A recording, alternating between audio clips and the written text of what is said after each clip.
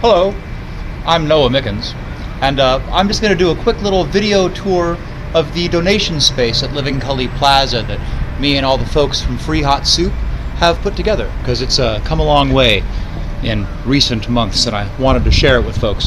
Uh, so let's see, first off, here is the little map that shows the order of the place and where all the different kind of stuff is supposed to go. Uh, you know, and so I made this so that people would be able to come and use the space when I'm not here. And here is the space itself. It's kind of dark in here. Over here is all of the food donations. Uh, I don't do a lot of the food. I mostly do clothing and camping supplies and toiletries and stuff.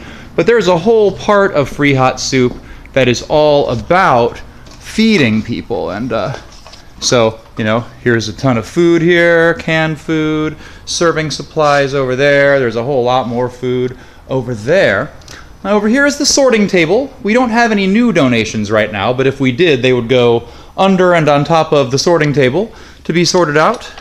Over here, we have the outgoing donations, which means this is stuff that um, we're not keeping because it's not really suited for immediate distribution on the streets, such as children's clothes and baby clothes. We don't keep that because children's and babies mostly uh, aren't on the street, they're in shelters and stuff. And uh, those kinds of things, sheets and towels, things that are just not as useful in emergency applications. Over here are the hygiene items. We have, you know, little individual drawers for like combs, batteries, deodorant, wet wipes, toothpaste, medical supplies, etc., etc. All around here is other stuff like that. It's kind of a little too dark, but there's, you know, a thing full of soap and a thing full of shampoo and a thing full of conditioner and like that. Right over here is a huge donation of blankets that we got recently. All of these boxes are filled with emergency blankets. Uh, and we are uh, sort of laying in for the winter right now because uh, right now it's real hot in Portland, so what they mostly need is more like water and respirator masks and stuff. But we are laying in for the winter. Over here are hoodies. This is all hoodies, women's hoodies on this side, and on this side, the men's hoodies. You see right here, got quite a few of those. Uh, over here are shelves full of boots and shoes that are sorted by size with the smallest at the bottom and the biggest at the top. And this is the men's shoes shelf and the women's shoes shelf. Sorry it's so dark in here. I had to get some better lights in here. Over here are the coats. This is an entire rack of men's coats. Look at all those great coats. And then over there, a whole big rack of women's coats. The men's coats are doing very good. We got these new ones. These are like the perfect men's coats because they're long and insulated and waterproof and with hoods on them. They are really great. Uh, women's coats over here, like I was saying, we've got lots of those. The women's coats always build up real fast because uh, again, you just you see more men on the street than women because I think women have a just an easier time getting into shelters and getting family members to help them and stuff. Over here is mismatched stuff. This is the accessories section. This entire drawer is three drawers full of scarves. Here we have all belts. Let's see if I can get more light on here. All belts. That's all the socks right there. Here's winter hats. Some more winter hats. Still more winter hats. We ended up with a whole lot of winter hats last winter right at the end. These are summer hats, you know, that are good for shade and keeping your head cool. Over here are the pants. Whole big shelf of pants. These are, you know, outdoor pants. Uh, blue jeans and corduroy and things like that, work pants that are real strong. Let me see if I can move the light over here without unplugging it. Over here is the shelf full of blankets. Some very nice blankets right now. And, uh, I'm sorry, those are not the blankets. These are sweaters and sweatshirts. Over here are the sweaters and sweatshirts.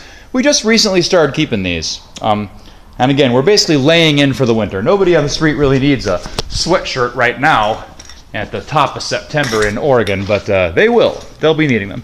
Over here are the blankets for real. This is a big shelf, all blankets and sleeping bags and things like that, which are much needed on the street, even during the warm season. Um, let's see. Over here, I will once again move some lights around because this is a cool part. This is really probably the, the thing people need the very most, and it's kind of hard to come by, and that's tents. So this is a tent section. Uh, we have a bunch of partial tents that need to be matched up, and also some complete tents, and some other camping stuff around here. We keep all the tarps over here, and big pieces of canvas. You see we have some Coleman stoves, cooking stoves right over there. We got a big old camp lan- lantern, things like that. This is all camping supplies.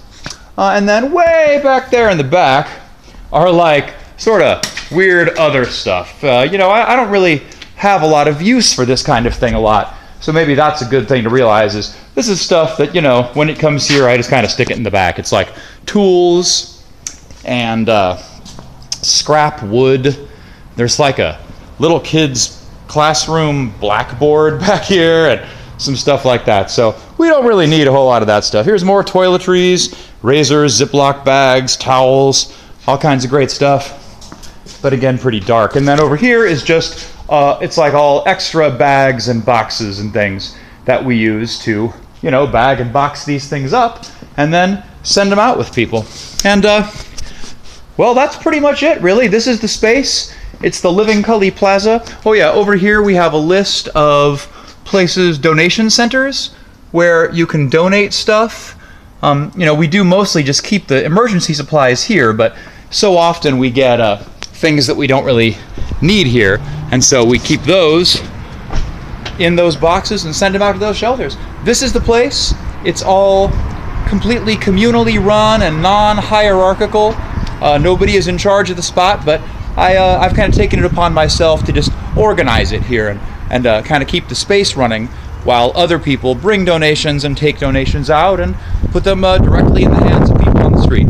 This is my thing now. It's what I'm doing in terms of activism and community organization, and uh, I'm getting a lot of help from a whole lot of other wonderful people, and uh, perhaps one of these days you'll have a couple hours to kill and come be part of it all. I sure hope so. Bye.